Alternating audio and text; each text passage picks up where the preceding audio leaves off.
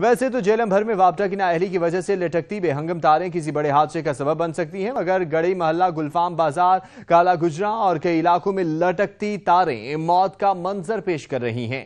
بابر حسین مزید تفصیلات سے آگاہ کریں گے۔ جی بابر، بتائیے گا۔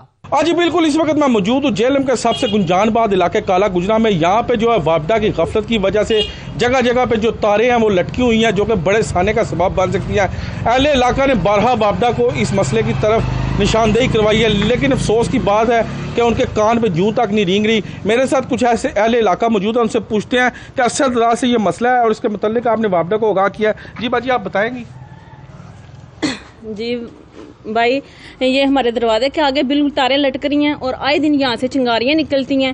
تو اس وجہ اس ڈر سے ہم بچوں کو باہر نہیں بھیجتے کہ کسی حادثے کا شکار نہ بچے ہو جائیں۔ اور آئے دن جو ہے نا ہم نے کتنی بار شکایت بھی کی ہے۔ واپڈا والوں کو فون کیا ہے کہ یہ مسئلہ حل کرے لیکن وہ جو ہے نا ہماری بات نہیں سنتے نہیں آ کے مسئلہ حل جی آپ بتائیں یہ کتنے عرصے سے مسئلہ ہے جی؟ یہ تقریباً بیس پچیس سال پرانا مسئلہ ہے یہ حل نہیں ہو رہا۔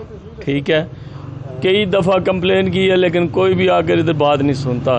یہ کچھ علاقہ کلیئر کر گئے ہیں، لیکن یہ علاقہ کلیئر نہیں کر رہے۔ یہ یہ بڑا علاقہ ہے جس کو یہ وابدہ والے کلیئر نہیں کر رہے، اور یہاں پہ جو اہل علاقہ کے لیے مستقل یہ مسئلہ بنا ہوا ہے۔ یہ لٹکڑی تاریں کسی وقت بھی حادثے کا سبب بن سکتی ہیں۔ جی۔